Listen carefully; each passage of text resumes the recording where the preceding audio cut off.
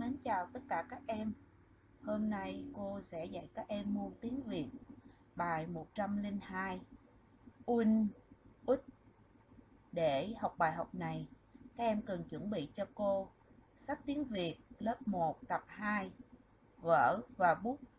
Bây giờ cô mời các em mở sách trang 40-41. Chúng ta bắt đầu bước vào tiết học nhé. Cô mời các em quan sát tranh. Các em nhìn thấy gì trong bức tranh này? Còn cô, cô nhìn thấy một bạn nhỏ đang được bố của mình kiểm tra bài vở ở nhà. Vậy cô đố các em, ở lớp, thầy cô gọi bố mẹ của bạn học sinh là gì? Đó chính là phụ huynh. Và phụ huynh cũng chính là từ hôm nay cô cùng với các em đi tìm hiểu. Trong từ phụ huynh, các em đã học tiếng phụ rồi. Hôm nay cô cùng với các em sẽ đi tìm hiểu tiếng huynh. Trong tiếng huynh, các em đã học âm hờ rồi. Cô cùng với các em hôm nay sẽ học thêm vần huynh nhé. Vần huynh gồm 3 âm. Âm U đứng trước, âm Y đứng giữa và âm nhờ đứng sau. U, Y, nhờ, un, un. Cô mời các em đánh vần lại. Các em lưu ý, vì vần un có âm U đứng trước, cho nên khi chúng ta phát âm, cần làm tròn môi. Các em nghe cô phát âm nhé. Un, hun, phụ, hun Cô mời các em đọc lại.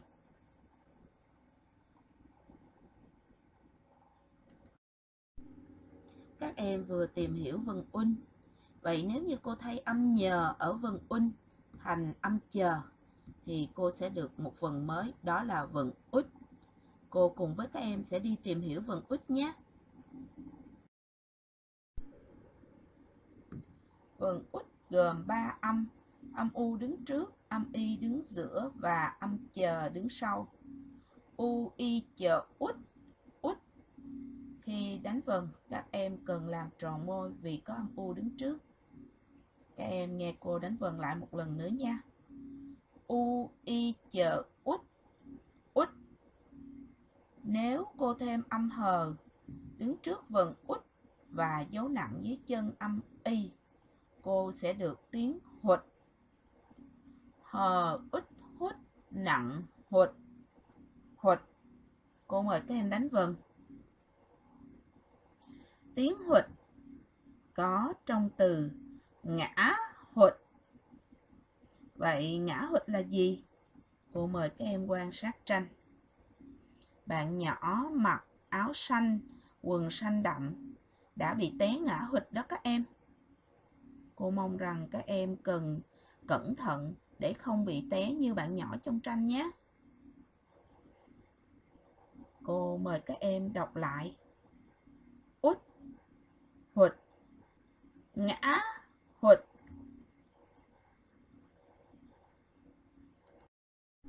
Cô mời các em cùng đọc lại với cô. Un, huân, phủ. Huân, út, hụt, ngã, hụt.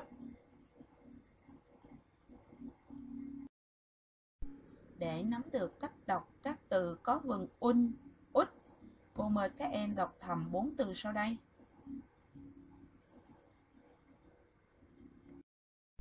Bây giờ cô sẽ cùng luyện đọc với các em.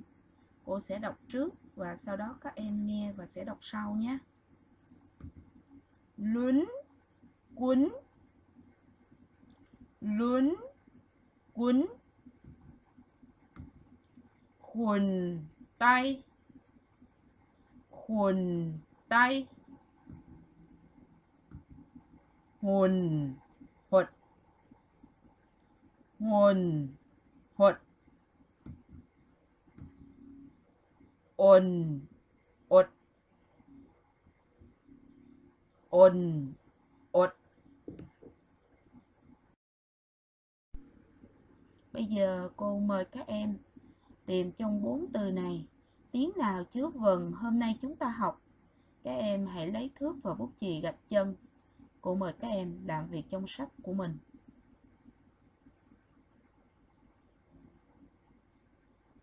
Các em đã làm việc xong, cô mời các em kiểm tra kết quả của mình với đáp án của cô nhé.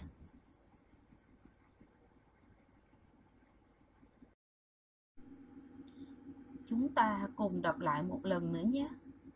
Un hun phụ hun hột, ngã, hột, lính, quấn, hồn, tay, hồn, hột, ồn, ột.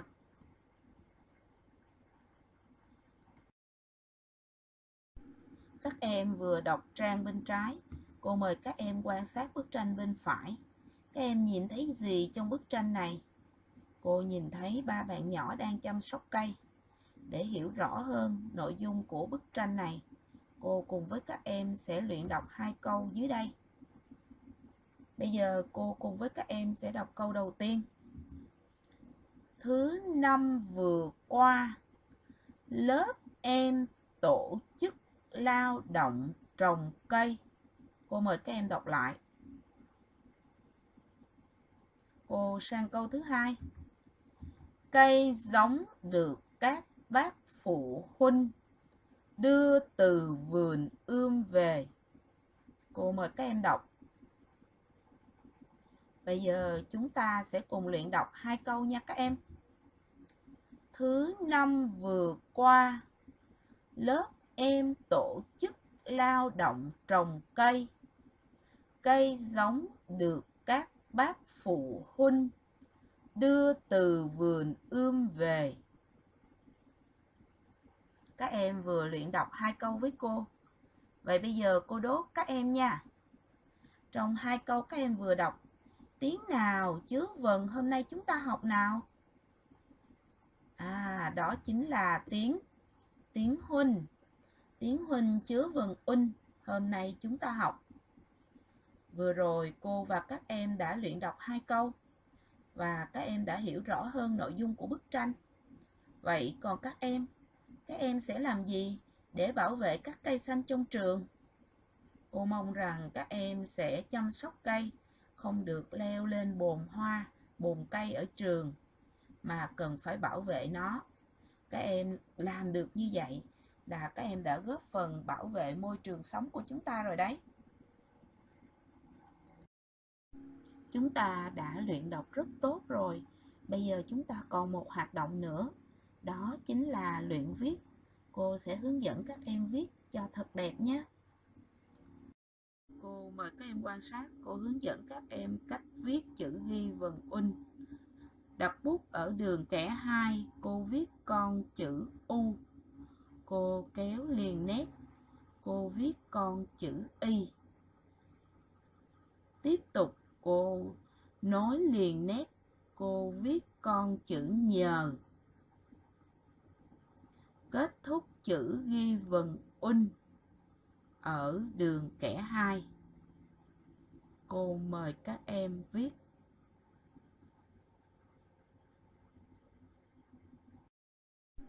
Cô tiếp tục hướng dẫn các em cách viết chữ ghi vần út. Đặt bút ở đường kẻ 2. Cô viết con chữ U. Cô kéo liền nét. Cô viết con chữ Y. Cô lia bút viết con chữ chờ. Kết thúc chữ ghi vần út ở đường kẻ hai. Cô mời các em viết. Cô hướng dẫn các em cách ghi chữ huynh. Đặt bút ở đường kẻ hai. Cô viết con chữ hờ. Cô kéo liền nét. Cô viết chữ ghi vần un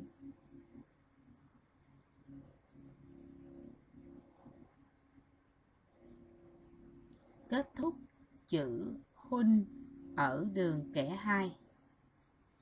Các em lưu ý khi viết, các em cần chú ý độ cao của các con chữ để viết cho chính xác nhé bây giờ cô mời các em, chúng ta sẽ luyện viết chữ huynh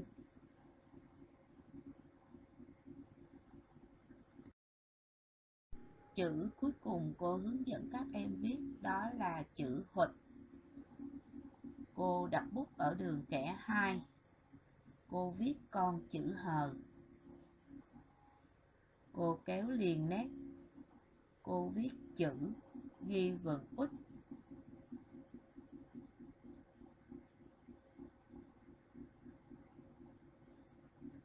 Kết thúc chữ hụt ở đường kẻ 2